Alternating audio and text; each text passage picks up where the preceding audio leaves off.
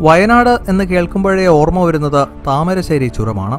പന്ത്രണ്ട് കിലോമീറ്റർ നീളവും ഒൻപത് ഹെയർപിൻ വളവുകളുമുള്ള ഈ ചരിത്രപാതയ്ക്ക് പിറവി നൽകാൻ ബ്രിട്ടീഷുകാർ കവർന്നെടുത്തത് ഒരു യുവാവിന്റെ ബുദ്ധി മാത്രമല്ല അയാളുടെ ജീവൻ കൂടിയായിരുന്നു. വയനാടിന്റെ മലമ്പാതയിൽ ചങ്ങലയിട്ട് കിടക്കുന്ന ഒരു വഞ്ചനയുടെ കഥയെക്കുറിച്ചാണ് വൺ ടു ത്രീ ഫാക്സിന്റെ ഇന്നത്തെ എപ്പിസോഡിൽ പറയാൻ പോകുന്നത്. വയനാട്ടിലേക്കുള്ള ചുരത്തിന്റെ അവസാനമായ ലക്കിടിയിലെത്തുമ്പോൾ കൽപ്പറ്റയിലേക്കുള്ള വഴിയിൽ റോഡിന്റെ ഇടതുവശത്തായി കാണുന്ന ചങ്ങലയിട്ട ഒരു മരം കാണാം. ശരീരം വെടിയുണ്ടകളാലും ആത്മാവ് ചങ്ങലകളാലും ബന്ധിക്കപ്പെട്ട കരിന്തണ്ടൻ എന്ന യുവാവിന്റെ ആകെയുള്ള അവശേഷിപ്പാണിത്. ഇതിനു പിറകിലായി കരിന്തണ്ടനെ അടക്കം ചെയ്ത ശ്മശാനത്തിൽ നിന്നും ചില രാത്രികളിൽ ഒരു രാക്കൂക്ക് കേൾക്കാറുണ്ടെന്നും പറയപ്പെടുന്നു. കരിന്തണ്ടൻ നൂറ്റാണ്ടുകൾക്കിപ്പുറവും ഇന്നും അവിടെയുണ്ടെന്ന് പറയപ്പെടുന്നതിന്റെ പിന്നിൽ എന്താണ്? എന്താണ് ആ ചങ്ങലമരം? കരിന്തണ്ടനെക്കുറിച്ച് ആധികാരികമായി പറയാൻ ഇന്നും എഴുതപ്പെട്ട ചരിത്രമോ രേഖകളോ ഇല്ല എന്ന് ആദ്യമേ പറയട്ടെ.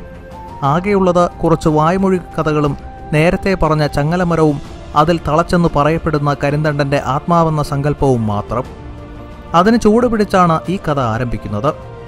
ആയിരത്തി എഴുന്നൂറ്റി അൻപത് മുതൽ ആയിരത്തി എഴുന്നൂറ്റി തൊണ്ണൂറ്റൊൻപത് വരെയുള്ള കാലഘട്ടത്തിലാണ് കരിന്തണ്ടൻ ജീവിച്ചിരുന്നതായി കരുതപ്പെടുന്നത്. ഇന്നത്തെ താമരശ്ശേരി ചുരം നിൽക്കുന്നത് മൂന്ന് മലകളിലായാണ്. അതിന്റെ അടിവാരത്ത് ചിപ്പിലിത്തോട് ഭാഗത്ത് ഒരു പണിയ കുടുംബത്തിലാണ് കരിന്തണ്ടൻ ജനിച്ചത്. ഒത്തവണ്ണമുള്ള ദൃഢമായ പേശികളുള്ള എണ്ണക്കറുപ്പാർന്ന കരിന്തണ്ടൻ പണിയ ആദിവാസി വിഭാഗത്തിന്റെ തലവനും കൂടിയായിരുന്നു. ആ കാലത്ത് കോഴിക്കോട് തമ്പടിച്ചിരുന്ന ബ്രിട്ടീഷുകാർക്ക് അനന്യമായ ഒന്നായിരുന്നു വയനാട് വഴി മൈസൂരിലേക്കുള്ള റോഡ് മാർഗം. സുഗന്ധവ്യഞ്ജനങ്ങൾ സുലഭമായിരുന്ന വയനാടൻ കാടുകൾ മാത്രമല്ല ശ്രീരംഗപട്ടണത്തെ ടിപ്പുവിന്റെ സാമ്രാജ്യം കീഴടക്കാനുള്ള മാർഗമായാണ് ബ്രിട്ടീഷുകാർ ഈ വയനാടൻ മലനിരകളെ നോക്കിക്കണ്ടത്. എന്നാൽ ഈ മൂന്ന് മലകൾ ബ്രിട്ടീഷുകാർക്ക് എന്നും തടസ്സം നിന്നു. മലകളെ തമ്മിൽ ബന്ധിപ്പിച്ച് ഒരു പാത വെട്ടി കോഴിക്കോട് നിന്നും സേനയെ മൈസൂരിലെത്തിക്കാൻ ബ്രിട്ടീഷുകാർ പഠിച്ച പണികൾ പലതും നോക്കിയെങ്കിലും മലകളെ കീഴടക്കാനായില്ല. അങ്ങനെയിരിക്കെ ഒരു നായരാണ് വയനാടൻ കുന്നുകളുടെ അടിവാരത്ത് ആടുമേച്ചു നടക്കുന്ന അജാനുബാഹുവായ കരിന്തണ്ടനെക്കുറിച്ച് സായിപ്പന്മാരോട് പറയുന്നത്. എന്നും ആടുമാടുകളെ മേച്ചുകൊണ്ട് മലമുകളിലേക്ക് പോവുകയും എളുപ്പത്തിൽ തിരിച്ചു വരികയും ചെയ്യുന്ന കരിന്തണ്ടനോട് മലകളെ കീഴടക്കുന്നതിന്റെ രഹസ്യം ഇരുചെവി അറിയാതെ ബ്രിട്ടീഷുകാർ ആരാഞ്ഞു. കാടിന്റെ ഓരോ മുക്കും മൂലയും അറിയാമായിരുന്ന കരിന്തണ്ടൻ എളുപ്പത്തിൽ കയറാവുന്ന മലമടക്കുകൾ മാർക്ക് ചെയ്ത് സായിപ്പിന് നൽകി. വളരെ ലളിതമായ രീതിയാണ് കരിന്തണ്ടൻ അതിനായി തിരഞ്ഞെടുത്തത്. മലയടിവാരത്തു നിന്നും കരിന്തണ്ടൻ ആടുമാടുകളെ പേടിപ്പിച്ചോടിച്ചു വളരെ പെട്ടെന്ന് ഏറ്റവും ലളിതവും താരതമ്യേന കയറ്റം കുറഞ്ഞതുമായ വഴികളിലൂടെ ആളുകൾ മലമുകളിലേക്ക് ഓടിക്കയറുകയുണ്ടായി. ഈ പാത കരിന്തണ്ടൻ മാർക്ക് ചെയ്തു നൽകി. അങ്ങനെ വിദ്യാസമ്പന്നരായ എഞ്ചിനീയർമാരെ ലജ്ജിപ്പിച്ചുകൊണ്ട് ദിവസങ്ങൾക്കുള്ളിൽ പാത വെട്ടാനുള്ള മാർക്കിംഗ് കരിന്തണ്ടൻ പൂർത്തിയാക്കി.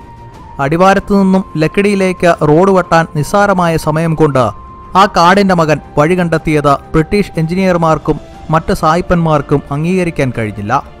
തങ്ങൾ പരാജയപ്പെട്ട സ്ഥലത്ത് ഒരു നാടൻ ആദിവാസി വളരെ നിസ്സാരമായി വിജയിച്ചത് അവരെ നാണം കെടുത്തി. കരിന്തണ്ടനാണ് വഴി പറഞ്ഞു കൊടുത്തതെന്ന് നാളെ പുറം ലോകം അറിഞ്ഞാലോ?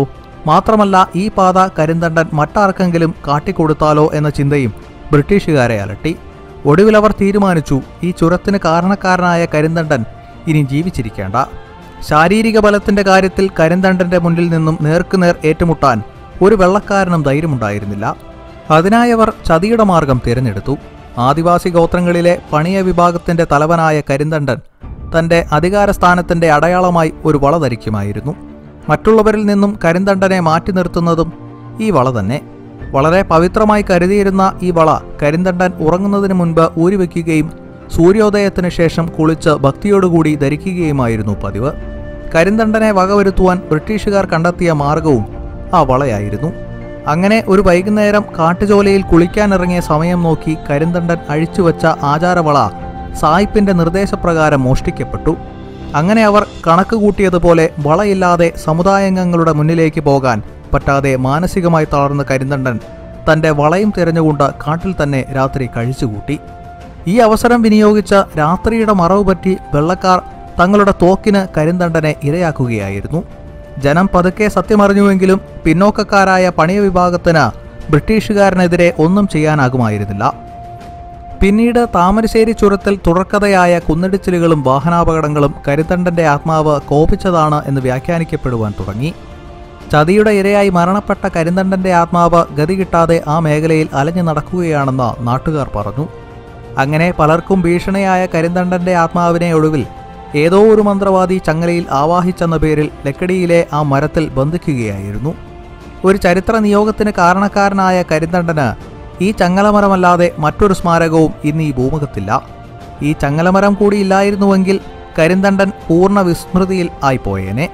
ഇന്ന് അതുവഴി കടന്നു പോകുന്നവർ ആരും ലക്കടിയിലെ ആ ചങ്ങലമരത്തിനെ വന്നിക്കാതെ കടന്നു പോകാറില്ല. ഇനി താമരശ്ശേരി ചുരം കയറിപ്പോകുന്നവർ പപ്പുവിന്റെ ഡയലോഗിനെ മാത്രമല്ല ഓർക്കേണ്ടത്. കിഴക്കിന്റെ ആ മലഭൂമിയെ കേരളത്തിനോട് ചേർത്ത് വയ്ക്കുന്ന ആ മലമ്പാതയ്ക്ക് കാരണക്കാരനായ ആ കാടിന്റെ മകൻ കരിന്തണ്ടനെയും ഓർക്കണം.